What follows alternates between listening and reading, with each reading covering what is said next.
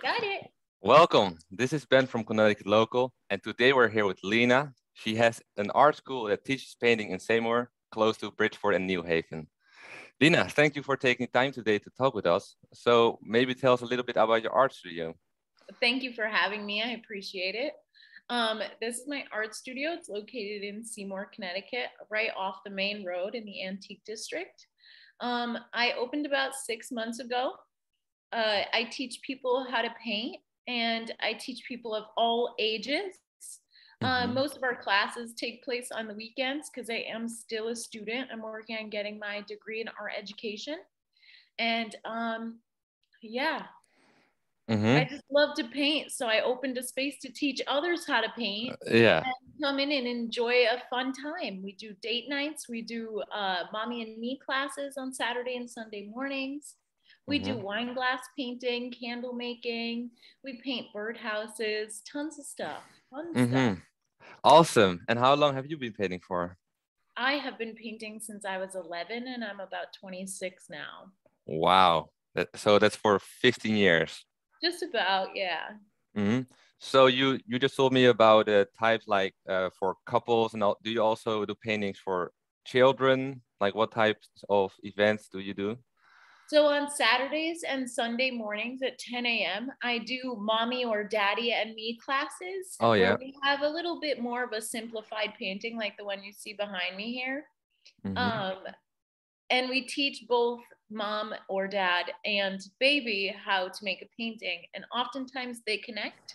So Mhm. this sunflower would actually have another sunflower on the other side, and it would end up being a half of a sunflower for when mommy and me go home and hang the paintings on the wall. Mhm. do face paint events. We've been booked on and off site many times over the summer to do face paint for kids and adults. Mhm. Um, Oh, so you also do it on other people's location for like party or something? yep, I do Uh-huh. traveling stuff as well, not just in the studio. I go out and about all the time. Okay, okay. So, and there are many people that never start something like painting because they think they are bad at it, like I thought. So, what's something that you have to say about that? So um, every time somebody says that they're bad at art or they're not creative, I always freak out because everyone's always creative in their own way. It's just like calling somebody stupid. They may be stupid in that subject, Mhm. but they're not going to be stupid in another. Yeah. So oftentimes I like to tell people that it requires absolutely no creativity and no talent to be able to paint anything that I teach here. Um, I teach paintings in a step by step manner. Um, most of them are one to 35 steps. And I literally go through each step once, twice, three times, as many times as I need to. I often walk around the classroom and help people out as well. And I show you brush techniques, all that kind of stuff. Wow. And how long does it take then for someone to go from, you know, thinking he's bad at art to think like, hey, I can actually do this. I can create beautiful paintings. Normally, it takes the whole class for someone to say, "Wow, I like this painting," because oftentimes people um, they expect results instantly, and they think that, "Oh, my art is looking terrible Mhm. right now, and at the end, it's gonna remain terrible," and that's not Yeah. true. Mhm. I'm always helping people fix their mistakes. I'm always helping people with anything that they don't understand why we're painting, um, and yeah. Okay. Yeah. Yeah. Uh, yeah, I have this painting behind me. I didn't paint it; a friend of mine did. Um, but this is definitely definitely motivating to me to uh, to start painting as well a little bit. Uh, last year, I got a painting um, sheet from my mom. Might as well start using it. So, um, next question was, what was it that really uh, made you want to start this art studio? And you know, instead of doing something else. Um, Yeah, just a passion. It's it's a lot. It um owning a business was actually a goal of mine since I was a small child. And Yeah. that and um having art and education involved in that and being able to be part of the community here in Seymour has been truly, truly a blessing. And I mean, I opened the studio in May with hopes of exactly what's happening now, right? Mhm. Where um, it's not super busy. I'm not going crazy, but it's also really great having people in here every weekend, getting my name out there. Um, we actually also are starting a mural in Seymour. Um, it's about Mother Earth, and we're very excited about that. And I mean, I don't know, I opened the studio um, with a lot of help from my family and I opened it pretty much by myself. Other than that, wow. So, um, I had a lot of a lot of support, and it was a lot of hard work. But I quite literally am in a building right now that was built in the early 1800s. It's a beautiful building. It's been separated off into other spaces, and there's a restaurant around the corner. And the owner of the building runs that restaurant. So I literally for months was going into that restaurant like once or twice a week, just bugging him for this space because it was empty for a long time. And uh-huh. the day before my birthday in March, he said, Can you open in six weeks? And I said, You got it. And I came uh-huh. here literally the night before my birthday and started cleaning and ripping out carpet and painting and doing everything I needed to do so that we could open in six weeks. So it was wow. a crazy adventure. And now we're six months into it and it's just truly a blessing. I'm very proud. Wow. That's such an amazing story to hear. So, and what have been some of your biggest challenging uh, challenges then along you, along the way, along the journey? And what um, did you um, learn from it? So I've learned like a lot since I've opened this space. But one big challenge for me was the the accounting aspect of opening this space. I have no idea. Like I could manage my own money just fine, but I don't understand how to manage a business and pay mm-hmm. taxes mm-hmm. and all this crazy stuff. Yeah. So that was another thing that was really, really great for me to find an awesome accountant. She's uh, Juma Juma Accounting Solutions out of Waterbury, Connecticut. She's amazing. She's also another small business. Mm-hmm. Um, but other than that, I mean, my biggest challenge really was getting the space set up and having having people come in that aren't my family and friends. Like tonight, actually, we're having our first paint and sip where I did not recognize the names that signed up. So it was very cool. I've had a lot of family and friends coming in, people I know. And tonight's the first night where it's not people I know. So my advertisements are reaching somewhere.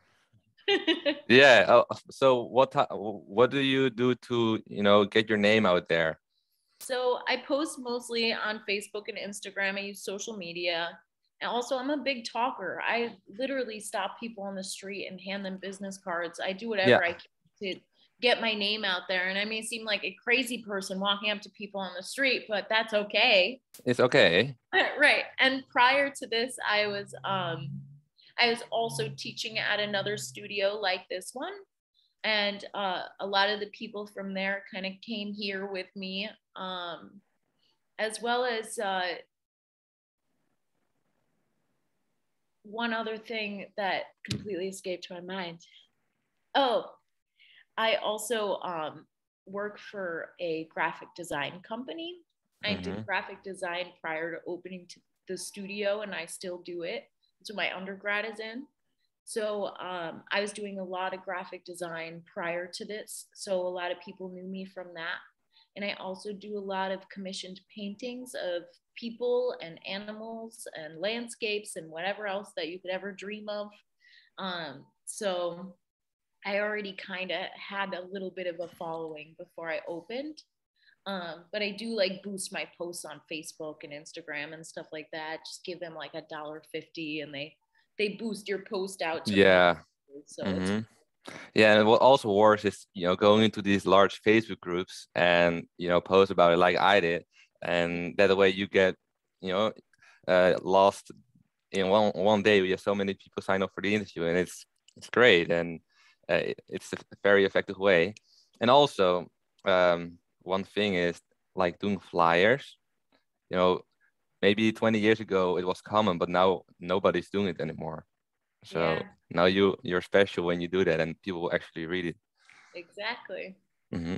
So, final question: If someone had to choose between you and they were looking at, you know, one or two other uh, painting uh, teachers, what would make you different from them? Like what makes you stand out? Um, not only do I have a wonderful personality and yeah. people laugh when they're here, mm-hmm. um, I also offer uh, more teaching abilities. I go to school for education. I'm learning now how to teach people properly. Um, I often, prior to opening this location, researched how to be an educator. Um, I'm very big into social justice, so it's it's uh, that's another thing that I like to bring up to people is that I'm more of a, a, safe space for people to come to and be open about who they are and what they would like to do. Um, for my adult classes, it literally counts also as a comedy show because um, I crack jokes up there and make people laugh all night. And it's very fun. It's not just a place to come and paint, it's a place to come and have fun, right? Yeah. Um, and oftentimes before I opened the studio, I was traveling around Connecticut and going to all different paint and sip studios and seeing how other people work and how other teachers teach and all this craziness. And um, one thing I noticed that really stands out for me is that I have a lot of patience with people. And not a lot of times when these uh, people are teaching in these paint and sip studios, they don't have patience. They don't care about your painting. They don't care if you go home happy with the painting. Mm-hmm about being paid. And I'm one of those people that wants you to be happy. So I don't want you to leave here upset with me or your mm-hmm. artwork. I want you to actually go home and hang this on the wall. So, wow. One thing that makes me stand out.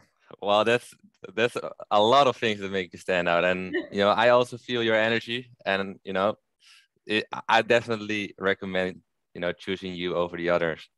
Thank you. Mm-hmm. So, yeah, thank you for coming on the interview here. This um, th this already was it, and uh, yeah, hopefully we'll see you soon. Thank you. See you.